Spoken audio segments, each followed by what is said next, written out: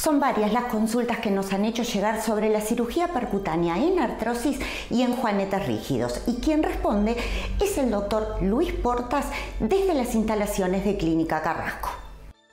La primera articulación metatarsofalángica es justamente la que se desfasa cuando se forma un juanete. Muchas veces, o en algunas oportunidades, además de existir ese desvío, la articulación presenta artrosis y se evidencia sobre todo porque el, dedo gordo tiene limitación al movimiento de flexión y extensión.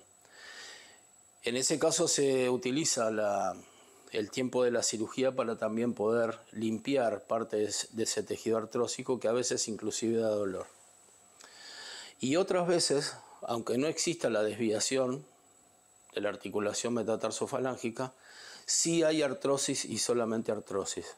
Los libros dicen que en un gran porcentaje de casos el paciente tuvo un traumatismo, como que se comió una baldosa, o un traumatismo frontal común al subir un cordón de la vereda, y entonces ese traumatismo hace que el cartílago degenere, el cartílago de la articulación, y con el tiempo se va volviendo una articulación rígida, prácticamente sin movimiento, lo que al no permitir, digamos, la flexión dorsal del dedo hace que el hecho de caminar sea dificultoso.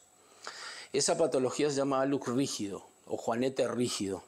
También se opera y la cirugía percutánea lo que permite es hacer un procedimiento conservador devolviéndole la fisiología a la articulación. Porque muchas veces lo que se puede plantear es para sacarle el dolor al paciente justamente sacarle la articulación.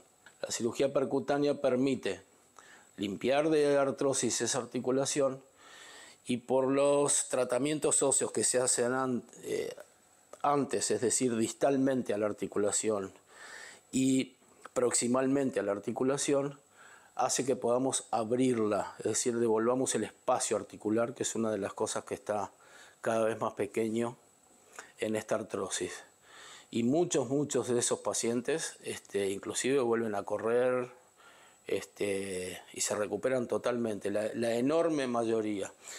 Es muy difícil además cuando nosotros lo empezamos a operar dijimos, bueno, en poco tiempo, sabiendo cómo es la artrosis, este, va a volver.